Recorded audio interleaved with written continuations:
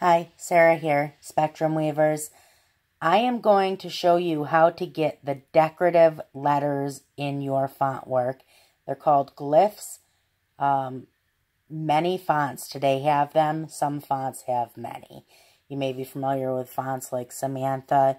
Uh, those are fully customizable. Same thing with Vondi, Amastery. This is Amastery on my screen right now. Amastery has a massive amount of glyphs that comes with it. And so I'm going to actually link Amastery. It's a font that everybody should have. I'll link it at the bottom of this video uh, when I'm done. So this is what it looks like when I used a glyph for the Y. That is not the natural Y. That is not the natural T. That is not the natural S. Those three letters are glyphs. Um, I'm going to show you how to do this in Design Space for ease of use for people. I don't ever recommend doing your font work in Design Space. That kerning error, the letter spacing and alignment error, it's it's not worth the headache. You can you can design all of your text externally. If you don't have an external design program, you can get one called Inkscape. It is a free open source program which can be downloaded. Uh, the trusted source is inkscape.org.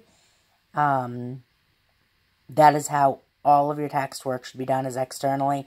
If you look through my videos, there's one that shows um, how to do your text work and then get it to uh, save correctly and import to Design Space. It's going to save you so much time and energy, and your text work is just going to be perfect. What you see in front of you, that was not done in Design Space. That was done externally. For the sake of this video, I'm going to show you uh, how, to, how to use glyphs, how to, how to access your glyphs right in Design Space check out that video. It'll give you perfect text every time. For the time being, I'm going to go ahead, I'll move this up here. I'll get rid of my cute little box.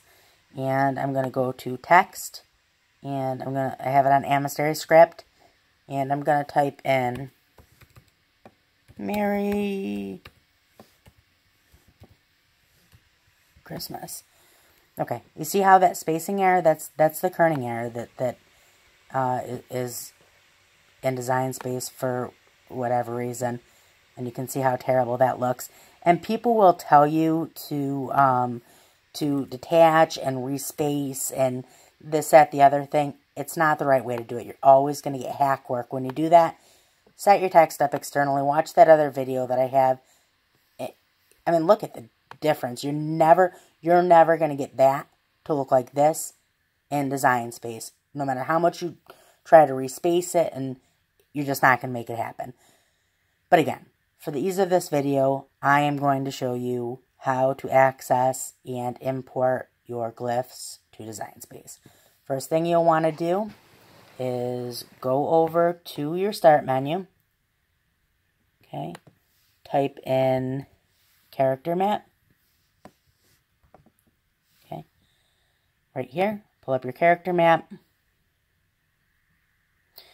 You need to make sure that this up here, sorry for the zooming in and out there, uh, this up here needs to match the font that you're using, obviously.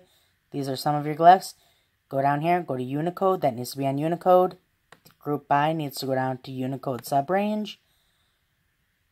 On this box that pops up, you'll go down to private use characters. Click on that. These are your glyphs, okay?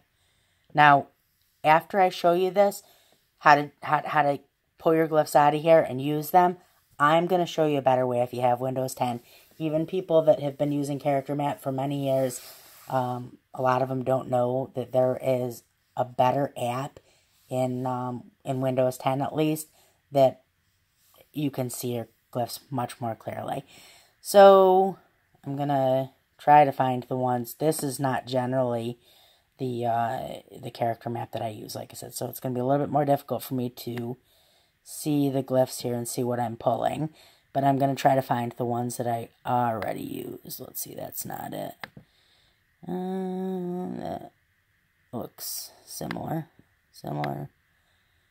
We'll select this one just, just to show you. So, select, copy, go back over to design space, go into your text, click on your text box,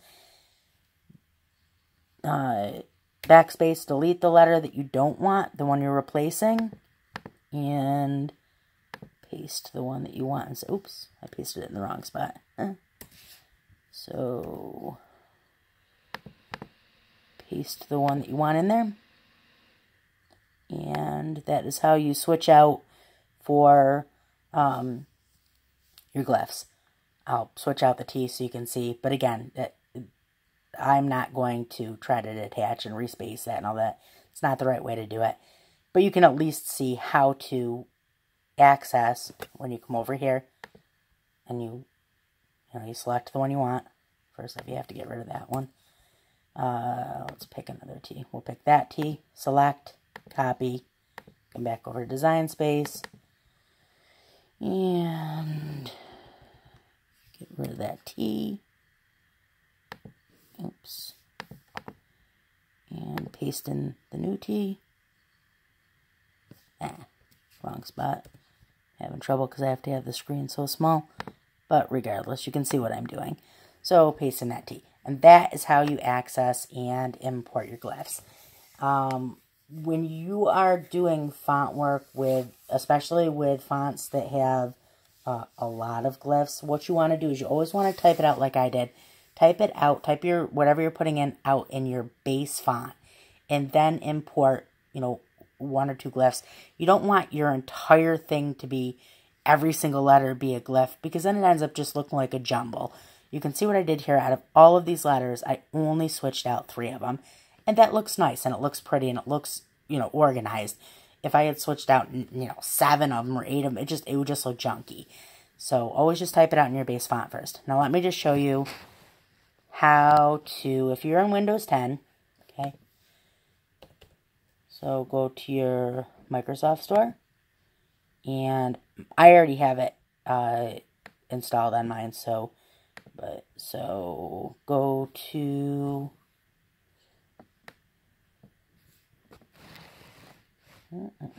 Sorry, I'm trying to trying to move you here so you can see it. Go to search and then go to